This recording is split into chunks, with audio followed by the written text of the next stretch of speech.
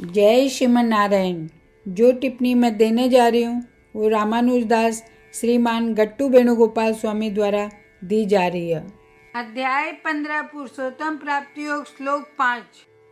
निर्माणमोहा। जितसङ्गदोषाः अध्यात्मनित्या। विनिवृत्तकामाः द्वन्द्वैर्विमुक्ताः। सुखदुःखसंज्ञैः। गच्छन्त्यमूढाः। पदमव्ययं तत्।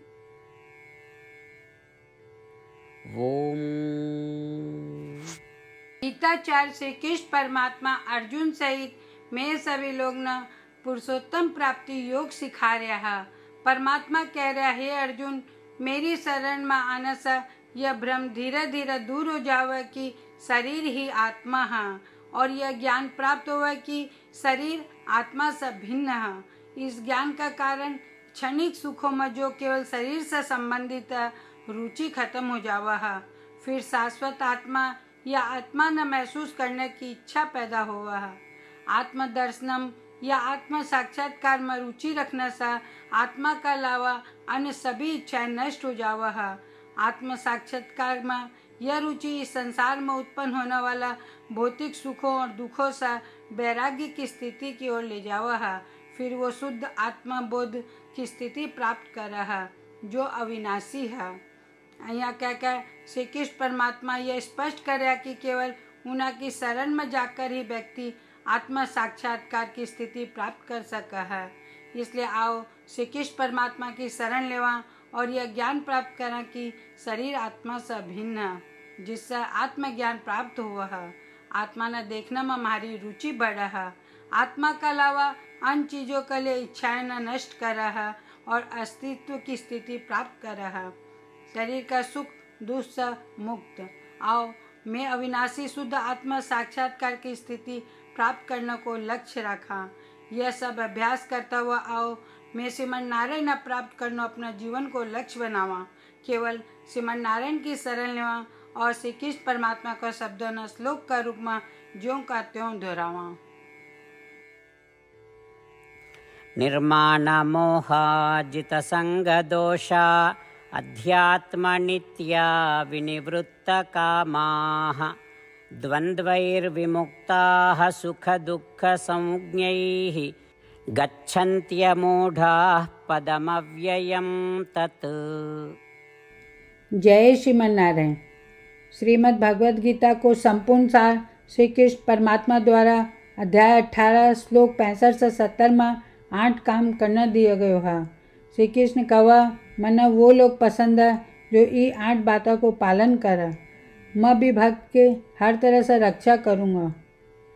श्री कृष्ण परमात्मा द्वारा बोली गई संपूर्ण भगवत गीता न सुनने के बाद अर्जुन कवा करिशे वचनम त्व को अर्थ कृष्ण मैं बइया ही करूँगा जया थे कहोगा। यही कारण है कि श्री कृष्ण अर्जुन सब तरह की सफलता और जीत प्रदान कर। आओ आपा परमात्मा ने वचन देवा कि ई आठ कर्मों का पालन करांगा। यहाँ की कोई पूजा, तप या यज्ञ कोनी जो परमात्मा ने यह शब्द देने से बढ़कर है। मैं कहूँगा कि आपा ने यह आठ प्रतिज्ञा करनी चाहिए। कृपया आपा ने अपने दिल और दिमाग से सोचना चाहिए। इस तरह श्री कृष्ण अपना वचन देता हुआ आओ आपा सब श्री कृष्ण का चेहरा खुशी से चमकता हुआ देखा और आनंद को अनुभव करा। जय श्रीमन नारायण यह मारो आठ वचन। मारो पहलो वचन, हे श्रीमन नारायण जहाँ थे निर्देश दिया, मैं हमेशा थारो ध्यान करूँगा और थारा बारा में सोचूँगा। मारो दूसरो वचन, हे श्रीमन नारायण जैया थे सलाह दिया, मैं हमेशा थारो भक्त रहूँगा। मारो तीसरो वचन, हे श्रीमन नारायण मैं अपना सारा काम थारी सेवा का रूप में और थारी संतुष्टि के लिए करूँगा। मारो चौथो वचन, हे श्रीमन नारायण जैया थे अनुसरण करना बोलिया था, मना पूरा विश्वास है कि मैं थारो हूँ, सदा थारा हाथ जोड़ूँगा और नमस्कार करूँगा। मारो पाँचों वचन, हे श्रीमन नारायण मना थारा सब माम एकम शरणम ब्रज याद आवा, जो थे अकेला ही समर्पण करना बोला था।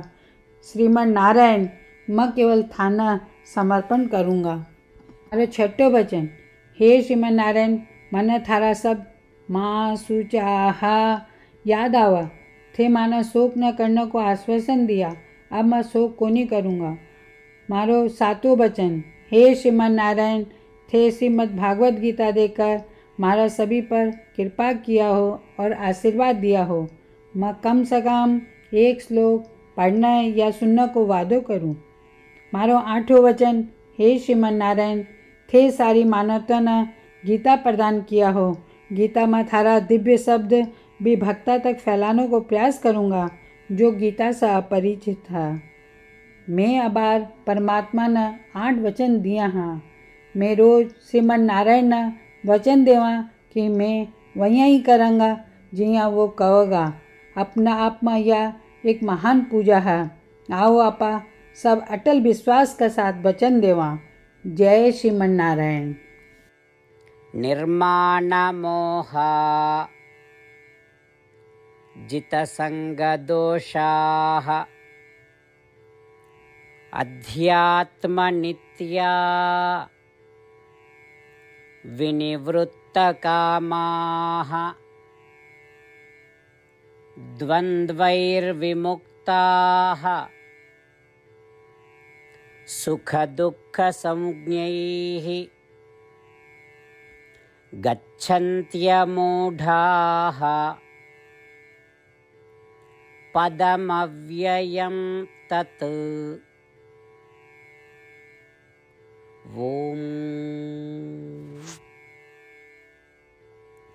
निर्माणमोहाजितसङ्गदोषा अध्यात्मनित्या विनिवृत्तकामाः द्वन्द्वैर्विमुक्ताः सुखदुःखसंज्ञैः गच्छन्त्यमूढाः पदमव्ययं तत्।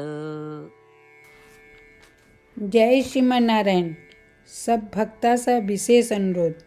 मैं अपना जीवन में सारी चीज़ा से तुरंत और सफल परिणाम चाहवा इन्हें प्राप्त करने के लिए रोज एक मिनट खर्च करना पड़ेगा और नारायण स्त्रोत को पाठ करना पड़ेगा। नारायण स्त्रोत को प्राप्त करने के लिए नारायण स्त्रोत वेबसाइट पर जाओ, जो कि www.narayanstrot.org है, और पंजीकरण में अपना नाम और ईमेल प्रदान करो। थारा द्वारा प्रदान की ईमेल पर थाना नारायण स्त्रोत पीडीएफ प्राप्त हो जाओगे। पीडीएफ में एक रामायण, एक गीता श्लोक और एक विष्णु नामा ये तीनों न मिलाकर नारायण स्त्रोत कहा जा हर कोई न इस श्लोका को एक अलग संयोजन मिला। जब चौबीस हज़ार भक्ता का साथ हर कोई रोज नारायण स्त्रोत को पाठ पढ़े या सुने तो संपूर्ण रामायण पारायण की एक माला, श्रीमद् भागवत गीता पारायण की तैंतीस माला श्री विष्णु सहस्त्र नाम के स्त्रोत की पारायण की चौबीस माला रोज पूरी हुआ यह इतनो उल्लेखनीय और असाधारण परिणाम जो हर दिन अहिया करने से समान आवा। इसलिए थे और थारा परिवार का सदस्य तुरंत जाओ और अपना नारायण स्त्रोत प्राप्त करो। जय श्रीमन नारायण